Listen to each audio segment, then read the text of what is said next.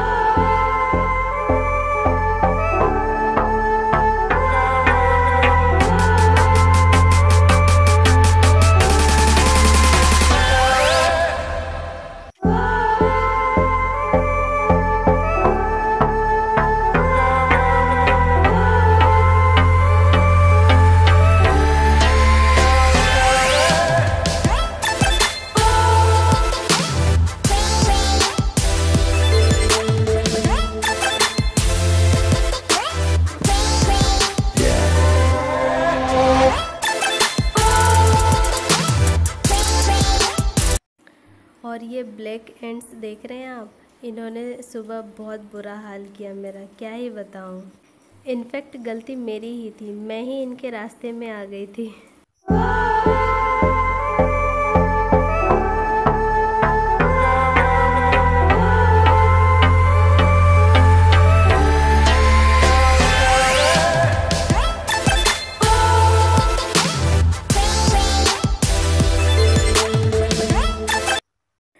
अब मैंने सारे पत्ते को अच्छे से धो लिया था।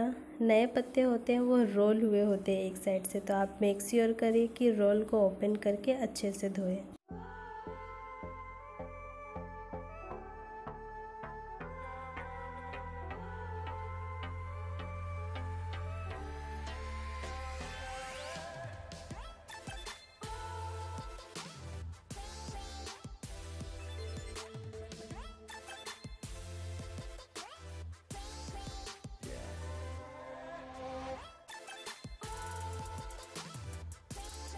मैंने सारे पत्तों को अच्छे से धो लिया है। अब चटाई लेके बाहर बैठ गई हूँ बिकॉज़ कल रात से ही लाइट नहीं है।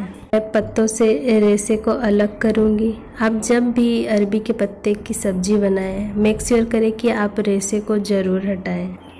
ऐसे ही मैं सारे पत्तों से रेसे को अलग कर लूँगी। जैसे कि आप वीडियो में देख रहे हैं, बिल्कुल उसी तरह मैं सारे पत्तों से रेसे को अलग कर लूँगी। इस प्रोसेस में थोड़ा टाइम लग जाता है तो मेहनत थोड़ी सी बढ़ जाती है।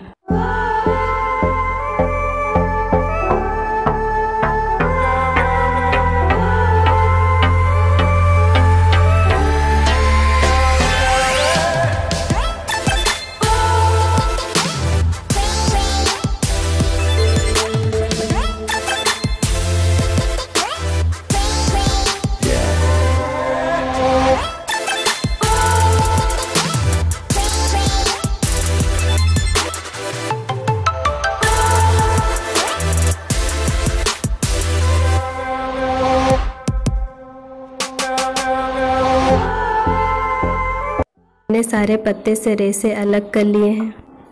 इसके बाद मैंने हरी मिर्च और लहसुन को सिलोट पे ही पीस लिया, जैसे कि मैंने बताया कि कल रात ही लाइट नहीं है।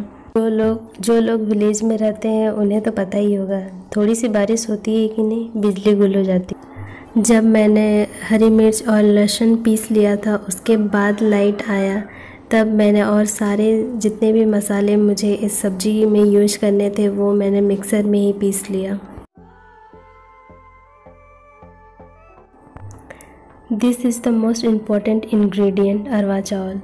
मैंने अरवा चावल को लगभग आधा घंटा पहले ही भिगो के रख दिया था। अब मैं इसे मिक्सर में फ़ाइन पेस्ट बना लूँगी।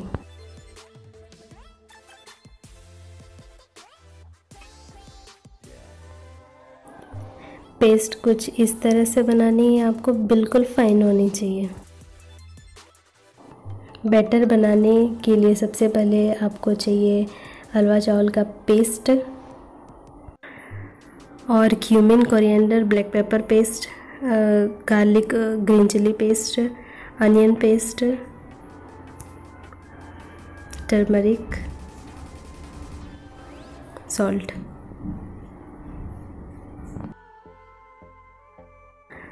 और थ्री टेबलस्पून बेसन।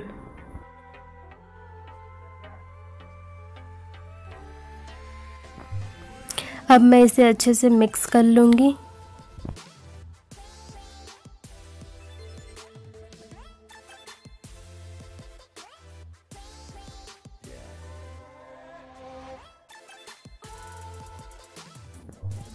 आपको बैटर की कंसिस्टेंसी जितनी चाहिए उस हिसाब से आप पानी डाल सकते हैं।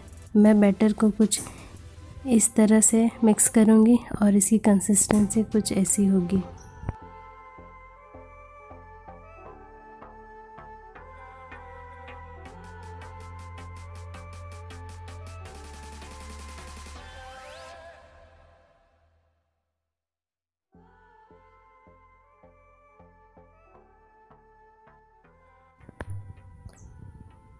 इमली भी एक इंपॉर्टेंट इंग्रेडिएंट है। मैंने इस इमली को वन आवर के लिए भिगो के रखा था, फिर उसे मिक्स करके अब इसमें मिक्स कर लूँगी।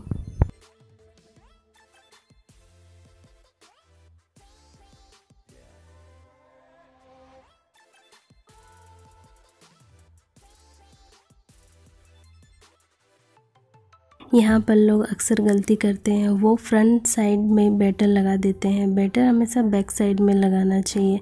बिकॉज़ जो रेसा हमने हटाया है, कुछ तो रह ही जाता है। उसे, उस रेसे से ही गले में खराश आती है। इसलिए हम लोग बैक साइड से बैटर लगाना स्टार्ट करेंगे। बैटर को पूरे पत्ते में अच्छे तरह से स्प्रेड कर ले। जैसे कि आप देख रहे हैं, मैं कर रही हूँ। इसके बाद आप इसके ऊपर से और एक पत्ता डाल के सेम ऐसे ही बैटर को इसके ऊपर स्प्रेड करें। अब आती है थोड़ी डिफ़िकल्ट पार्ट इसे रोल करना। तो आप सबसे पहले इसे चारों साइड से अच्छी तरह से फोल्ड कर लें, जैसे कि मैं कर रही हूँ, ताकि ये कोई भी साइड से ओपन ना हो। और आपको जहाँ पे लगे ये स्टिक नहीं कर रही है, आप थोड़ा और बैटर लगा के उसको अच्छे से स्टिक कर लें। अब इसको वन साइड से रोल करते हुए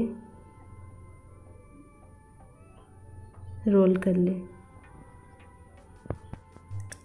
कुछ इस तरह से करें।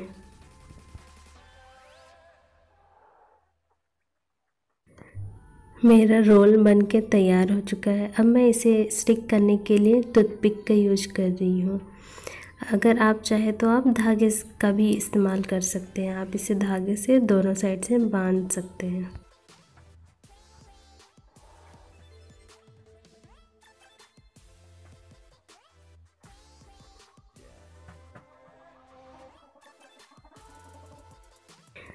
पानी गर्म हो चुका है। अब मैं इसमें रोल डाल दूँगी।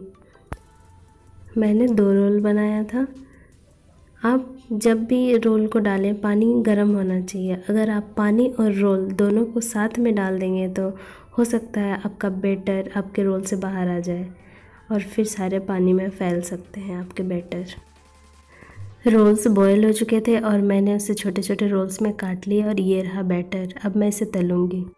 ऑयल आपको ऐसा इसलिए दिख रहा है क्योंकि मैंने पहले ही एक बार तल लिया था और मैं वीडियो बनाने भूल गई थी। तो आपको कुछ इस तरह से तलना है। एक एक करके डालना है। ज़्यादा एक साथ नहीं डालना है। नहीं तो आपके जो रोल्स हैं वो एक दूसरे के साथ चिपक जाएँगे।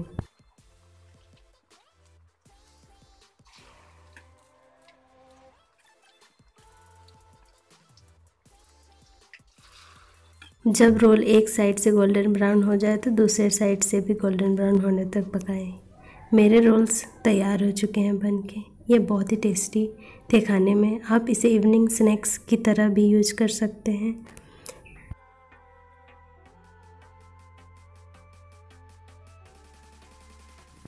मैंने रोल्स की करी बना ली थी। अगर आपको इस करी की रेसिपी चाहिए तो आप मुझे कमेंट कर सकते हैं।